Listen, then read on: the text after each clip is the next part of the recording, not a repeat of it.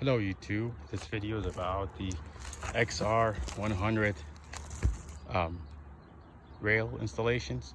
So another video I showed how to install the FlashFoot 2 footings. I've got them all installed in my array. I'm gonna have two portrait arrays or rows of solar panels and they're gonna go on these racks. So I got four racks right here. Um, first step is to basically line them up on top of um, every row of FlashFoot 2s and then we're going to install the XR100 with IronRidge bolts. I got a full bag of them. They look like this.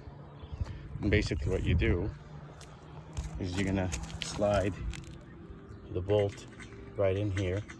This bolt is very tight. This square fits perfectly in this groove over here makes it not move and then you tighten from the outside. So we basically slide them in slide as many bolts as flash footings FlashFoot 2s and then um, on the little uh, hook right there you basically connect this to it and then you tighten. So uh, first step i'm gonna line up the rails slide the bolts and then start tightening